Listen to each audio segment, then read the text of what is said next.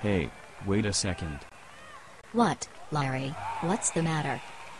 The matter is, we are supposed to be on the court. Why are we over at the announcer table? And why are the announcers on the court? You're right, Larry. Let's go. Wait, hold on, Charlene. They're actually doing really good. I think the crown thinks it's us. Oh, okay, let's just sit back and relax and enjoy our replacements win the game for us.